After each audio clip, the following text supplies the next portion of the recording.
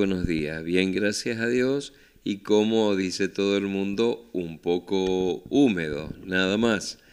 Eh, aparte, decir, esta humedad viene bien para el césped, aunque mucha gente ya se está quejando porque no se le seca la ropa, no pueden cosechar, etcétera, etcétera. Pues bien, aprovechemos y pidámosle a Dios que cierre un cachitito de la canilla. Aprovechemos para venir a misa este fin de semana, que es el día de la misericordia, este domingo, segundo domingo de Pascua, después de las tan bellas celebraciones que hemos tenido el fin de semana pasado eh, tenemos este domingo de Pascua, que es el día del Jesús misericordioso, el Jesús de la Divina Misericordia, que le pedía a Sor Faustina Kowalska que todos los días a las 3 de la tarde se reza el Rosario de la Misericordia, promoviendo un poquito lo que es la misericordia divina y salir al encuentro de esa ternura de Dios que quiere realmente enternecer nuestro corazón, abrir nuestra inteligencia, fortalecer nuestra voluntad para que el día de mañana tomemos abundantes y santas decisiones positivas. Y sobre todo, eh, también qué cosa bella, ¿no? Justo para el Día de la Misericordia tenemos una de las tantas mesas que vamos a tener a lo largo de todo el año para las elecciones. Con cuánta mayor razón le tenemos que pedir al Jesús de la Misericordia, el Dios de la vida, el Dios de la paz y el Dios del amor, que justamente nos iluminen para tener una santa y una buena elección y sobre todo para pedir por nuestros futuros gobernantes. Así como en el seminario nos enseñaron a rezar por nuestros futuros feligreses, aquellos que no sabíamos cuándo los íbamos a tener, así también nosotros tenemos que rezar por nuestros futuros gobernantes para que Dios vaya trabajando en su corazón y generen excelentes propuestas para el bien común. Pues bien, ¿qué actividades tenemos para este fin de semana? De fin de semana los horarios de misa, como siempre, en honor al Jesús misericordioso. 18 horas San Carlos Norte, 19 y 30 Parroquia, San Carlos Centro, 19 y 30 también Hesler.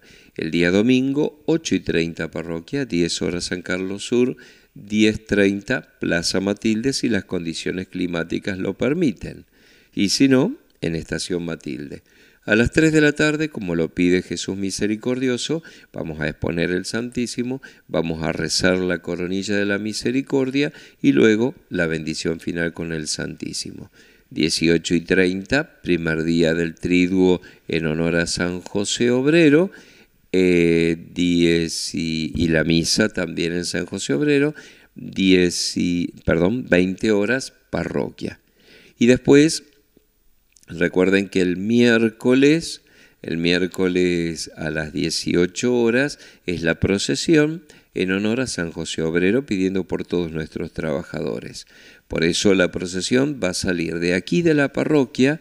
Eh, se trata de volver un poquito a las raíces. La gente más de más llegada en años me decía que antiguamente salían de San Carlos Sur y se dirigían a San José Obrero y de la parroquia y se dirigían a San José Obrero. Este año vamos a salir, se invitó a la gente de San Carlos Sur y se invitó a toda la gente de la parroquia también para nuclearnos aquí en la parroquia y aquí salimos en procesión hasta la capilla de San José Obrero para celebrar la misa especialmente por todos nuestros trabajadores. Se va a bendecir eh, todas las herramientas de trabajo, por lo tanto se pide que lleven aunque sea algo representativo de la herramienta de trabajo. A lo mejor no es necesario que lleven tractores, cosechadoras, pero sí podrían llevar las llaves, que es algo representativo para poder bendecir todas las herramientas de trabajo que, que traigan y la bendición de las manos de nuestros trabajadores que están destinadas para hacer buenas cosas para el servicio del bien común. Y para que San José siga iluminando a todos nuestros trabajadores para seguir conservando las fuentes de trabajo y con una gran alegría poder dignificarse a través del trabajo como nos enseña Jesús.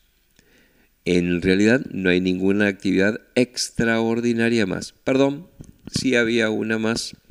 El día viernes 3 a las 17 y 30, si las condiciones climáticas lo permiten, recuerden que es la misa en el barrio Guadalupe con toda la gente del cencerro que son los que acompañan a la Virgen eh, en su peregrinar en el alrededor de la plaza para el día de Nuestra Señora de Guadalupe para la fiesta del día domingo 5 de mayo. Acá la misa va a ser el viernes 3, 17 y 30.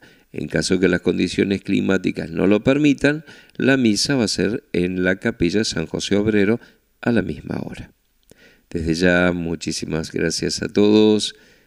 Que Dios los bendiga, la Virgen los proteja y los tenga sanitos y buenos.